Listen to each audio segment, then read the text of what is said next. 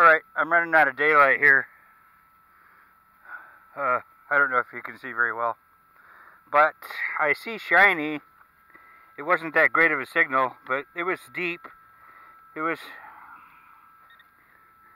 well, I mean, it was seven inches, maybe eight, but it was really quick. It was a quick signal.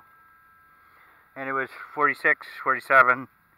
Thought maybe it was a clad quarter, but I don't know if you can see. Definitely see shiny right here. Oh yeah. Oh yeah. It's going down. There it is.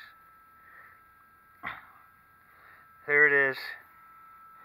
And it's a Merc.